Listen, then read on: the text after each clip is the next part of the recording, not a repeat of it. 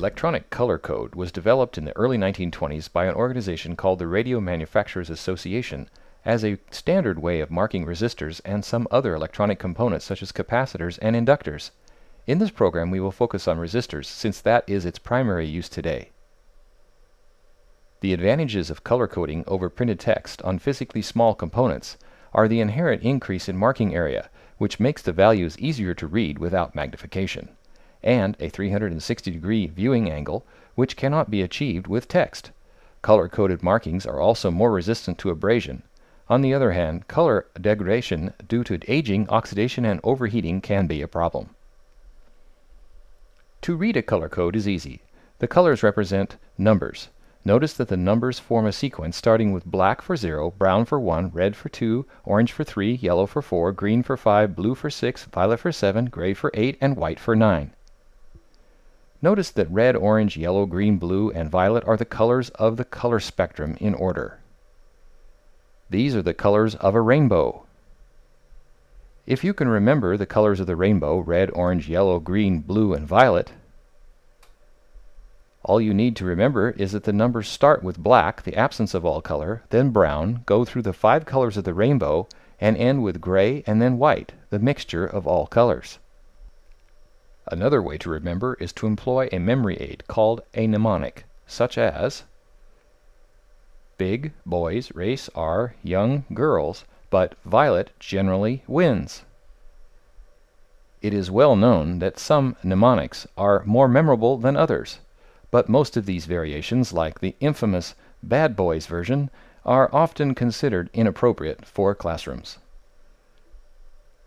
Other languages have other mnemonics for this color code. A rough translation of the French version is Don't eat anything or I'll beat you violently, big animal. Most resistors have four color stripes, although some, called precision resistors, have five bands. Reading a color code is simple. With four-band resistors, the first and second colors represent the first two digits of the resistance value in ohms. The third band represents the multiplier or number of zeros after the first two digits. An exception to this is when the third band is silver or gold. If it is gold, the first two digits are multiplied by 0.1. If it is silver, the first digits are multiplied by 0.01. Resistor color codes are like scientific numbers with a mantissa and an exponent or power of 10. The fourth band on a four-band resistor is called the tolerance band and is either gold 5% or silver 10%. Today 5% is a standard grade resistor. Let's try some examples. Here is a resistor with a color code brown, black, red, gold. The first band is brown, which is 1, the second band is black, which is 0, and the third band is red, so the code is 102. The third color, or red, represents 10 raised to the 2 power, or 100. This is the same as 2 more zeros, so we have 1000, or 1000. The fourth band is 5% tolerance. So a brown, black, red, gold resistor is 1000 ohms plus or minus 5%. Now 5% of 1000 is 50, so this resistor can have a value from 950 to 1050 ohms. Here is another resistor, yellow, violet, red, silver. Yellow is 4, violet is 7, red is 2. So this is a 4, 7, and 2 more zeros. The first three colors represent 4, 7, and then two zeros. So this is a nominal 4700 ohm resistor. The fourth band is silver, so this resistor has a tolerance of plus or minus 10%. So we have a 4700 ohm resistor with a 10% tolerance. Now 10% of 4700 is 470, so this resistor is guaranteed to be within the range of 4700 ohms plus or minus 470 ohms, or 4230 to 5170 ohms. Here is another resistor, white, violet, black, gold. White is 9, violet is 7, and black is 0. So the color code reads 970. It is a common mistake to interpret this as 970, but remember the third digit is the number of zeros, so 10 raised to the 0 power is 1. The multiplier is 1. There are no zeros appended to the digits 9 and 7, so it is just 97 ohms. The fourth band is gold, or 5%, so this is a 97 ohm resistor with a tolerance of plus or minus 5%. 5% of 97 is 4.85. If we add and subtract that from 97, That means this resistor value has to fall within the range of 92.15 to 101.85 ohms. Another example, yellow, violet, orange, gold. That is 473, or 47 with three zeros after it.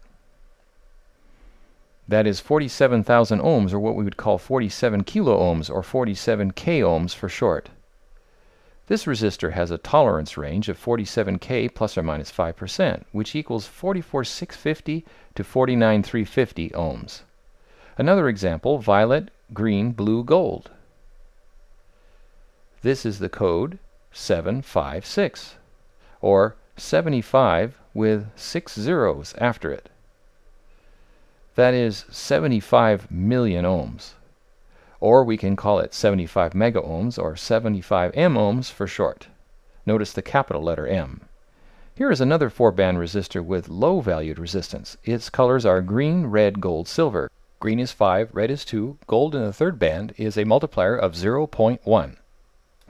So the code reads 520.1. And so we multiply 52 by 0.0 by 0.1 giving a nominal value of 5.2 ohms. The fourth band is silver, so this is 10%. 5.2 plus or minus 10% gives us a range of 4.68 to 5.72 ohms. Therefore, to be called a 5.2 ohm resistor with a tolerance of 10%, the actual value must fall between 4.68 and 5.72 ohms. To review, four-band resistors consist of two color codes representing the first two digits of the number, followed by a multiplier, and then the tolerance band. Not all resistors have a 10 or 5% tolerance bands. Many years ago, some resistors had a 20% tolerance, which was indicated by not having a fourth color band. You might find a 3-band resistor in an antique radio or television. For most applications, 5% resistors or 10% is more than adequate, but some requirements a more precise resistor must be used. Precision resistors commonly use a 5-band color code. For precision resistors, the first, second, and third bands give the first three digits of the resistance value. The fourth band is the multiplier band.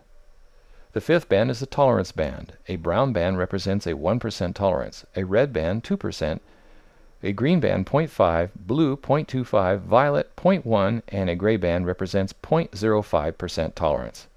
For example, the first three bands of this resistor indicate the first three digits, 2, 0, 0. The fourth band, the multiplier band, is brown for 1, or 10 raised to the 1 power. In other words, just 10. So we get 2, 0, 0 with another 0 after it, or 2000 ohms as the nominal value. The fifth band is violet, indicating a tolerance of 0.1%. So this resistor has a value of 2000 ohms plus or minus 0.1. This resistor is guaranteed to be within 0.1% of 2000 ohms. To calculate this, we convert 0.1% to a decimal number by dividing by 100, which gives 0.001, and multiply by 2000 to get 2. So this resistor is guaranteed to be 2000 plus or minus 2 ohms. It can be no less than 1998 and no greater than 2002 ohms. What has been described in this presentation is the most common ways that color codes are used on resistors. There are other uncommon variations, such as precision resistors with six bands, including a band after the tolerance band that indi indicates temperature compensation, or quality codes that are not standardized. Also, some resistors do not use color codes, but have a number printed on them. This tiny surface mount resistor has 100 printed on it. It uses the same coding system as color codes. This one is 10 with 0 zeros after it, or just 10 ohms.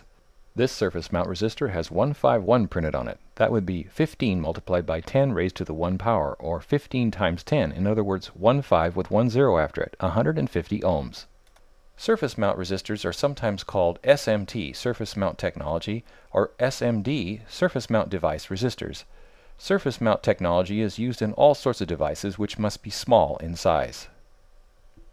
Large power resistors also have the resistance values printed on them. Since there is plenty of space, they are often printed without using any scientific number code. Having learned the common color codes, you will be well prepared for selecting the most common electronic component, the resistor.